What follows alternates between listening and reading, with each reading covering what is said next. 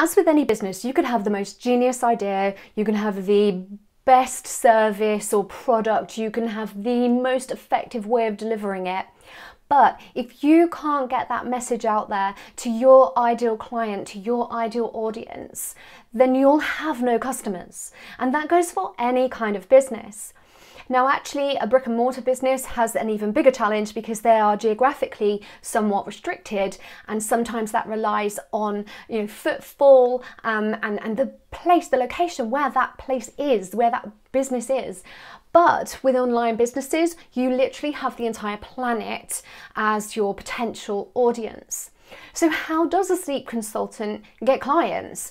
Much like any business, all marketing is, is getting the right message to the right person at the right time. For a sleep consultant, for instance, it's about making sure your messaging is on point, that it isn't you trying to be somebody else or you spurting out somebody else's words or theories or philosophies or methods or approaches, that it's you being you, sharing what you can do to solve that person's problem and to make life better for them. And if you get that messaging clear and you get that messaging right, you're going to then attract the right person. You're going to attract your optimal ideal clients into your world. And that's when they start to feel like they know you, they get to like you, they get to trust you because they they're understanding you, you, your messaging is talking to them. And and it's letting them feel like oh my god yes. Oh my god she's talking to me. Oh my god this this completely she gets me. And maybe you're thinking that now. But that's about the messaging being on point to the right audience. If they feel that way, they're more likely to then want to take action and to explore what you actually do to, to help them and to solve that problem.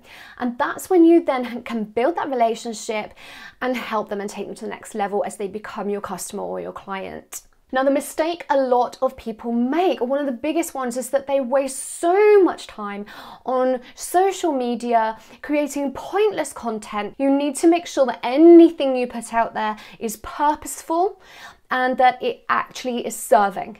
It, has got to talk to your ideal audience and it's got to show them where to go. It's really important not to waste your time on things that you think it just, oh, well, everyone else is doing it. So how successful are they actually behind the scenes? So don't get caught up in that comparison thing.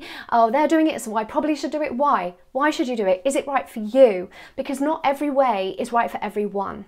You're here watching me on my video. I do video content. That doesn't mean you should.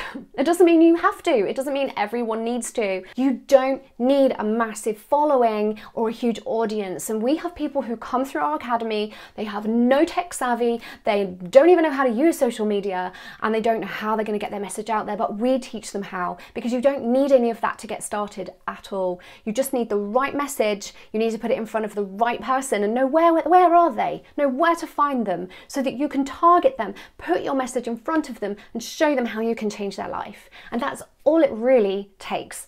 So, how do sleep consultants get clients? By following this kind of process, by knowing their message, by knowing their audience, and by getting that message to them.